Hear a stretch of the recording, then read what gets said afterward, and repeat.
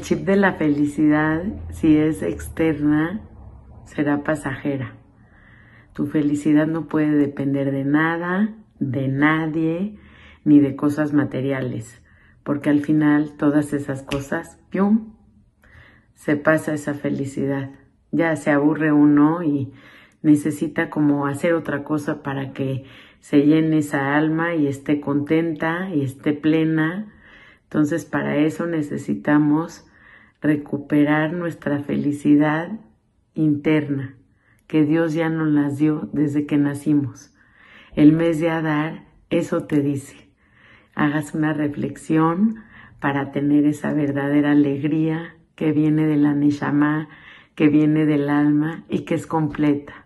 Esa alegría que nadie te puede quitar. No depende de nada, ni de tu estado de ánimo, ni de nada. Esa felicidad ya la tienes en tu chip integrado.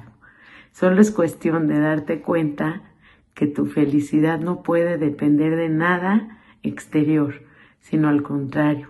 Siempre ve hacia adentro, hacia tu ser, y vas a encontrar que verdaderamente lo tienes todo. Dios te ha dado todo, empezando desde la vida, desde que empiezas a sentir tu respiración, desde que empiezas a hacer cosas por ti solo, que tienes esa energía, que tienes esa fuerza, que tienes la salud, de verdad, que tienes esa paz, que tienes esa libertad de hacer las cosas, que tienes esa libertad de expresión.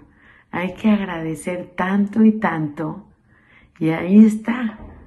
Adar te dice que es el mes de la alegría. Dios te pide que estés alegre. Y a dar también puede ser de hay que dar, a dar. Vamos todos a dar. Y al final, cuando damos, nos sentimos llenos y completos. Por eso 100% a dar igual a dar y ayudar. Y siempre entregarte a los demás y hacerlos felices y que estén todos plenos y contentos y con esa Neshama al 100. Los quiero.